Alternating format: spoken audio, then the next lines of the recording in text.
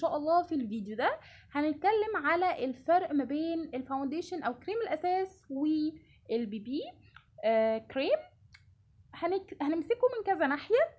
أول حاجة هنتكلم فيها وهي القوام تقريبا الاتنين بيبقوا قوام واحد ولكن ال BB بتحسوه كده كريمي أكتر لأن هو بيبقى فيه نسبة مرطب فبيبقى كريمي أكتر. لكن ال foundation عادة بتبقى نسبة الكريم فيه قليلة إلا ولو كان دي ميزة في مميزات ال foundation تاني حاجة انتي لو حابة تخرجي كل يوم باستمرار وتحطي حاجة فساعتها هتجري على طول على ال BB لأن مش هيبقى اختيار صح ابدا ابدا لو استخدمتي ال foundation كل يوم لأن ده هيعمل لك مشاكل كبيرة جدا آه وهيسد المسام هيطلع لك حبوب هيعمل لك بقع لما الكريم الأساس ده يتعرض آه في الشمس بال... بالاستمرار يعني.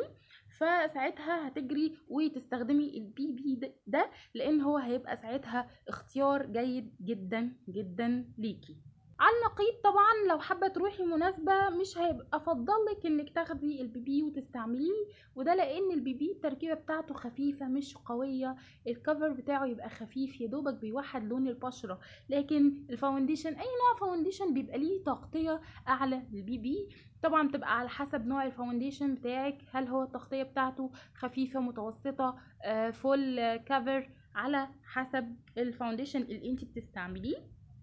كمان في ميزة حلوة جدا جدا في في ال BB هتغلب ال foundation وهو إنه بيبقى فيه معامل حماية من الشمس بيبقى فيه SPF يعني لو مسكنا مثلا ال BB ده هنلاقي إن ال SPF بتاعه آه 15 وبيبقى على حسب ال BB اللي انت بتشتريه بيبقى فيه SPF 25 و30 على حسب النوع اللي انت جايباه.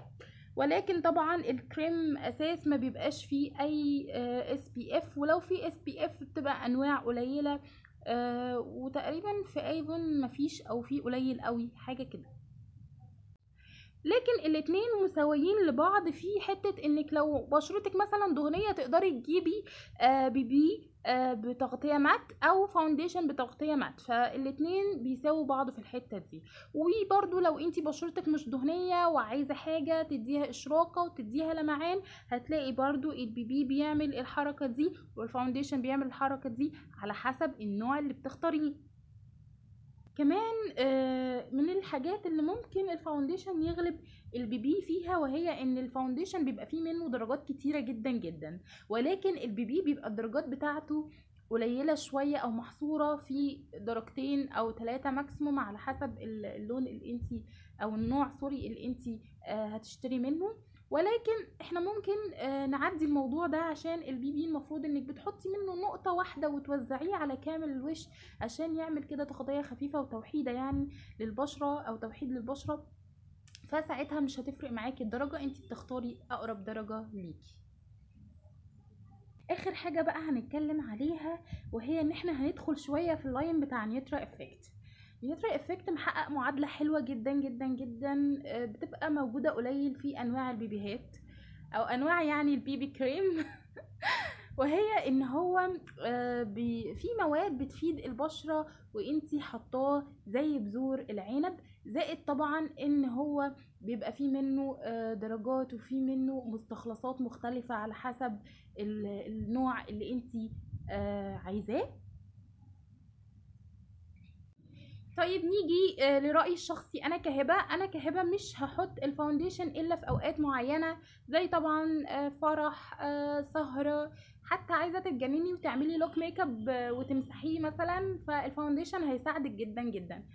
آه ولكن ال BB ليه استعمالات تانية. يعني انت مثلا لو واحدة ما بتحبيش الميك اب يبقى over آه وتنزلي بيه يا دوبك مثلا بتحطي آه ماسكارا وروج ممكن تستخدمي ال BB واحدة بتنزل كل يوم شغلها ال BB ده أساسي أساسي لأن هو طبعا بيبقى فيه معامل حماية من الشمس وبيبقى فيه نسبة ترطيب فبتبقى حاجة لطيفة جدا. لكن واحدة ما بتحبش ال foundation خالص وتحسه تقيل okay برضو اتكلي على الله وروحي لل BB. برضو ريحي بشرتك. من كتر الحاجات. يعني يوم كده انزلي من غير أي حاجة يا دوبك حاطة روج مثلا وال block بتاعك. يوم تاني انزلي بكريم النهار بتاعك مثلا والروج بتاعك مثلا.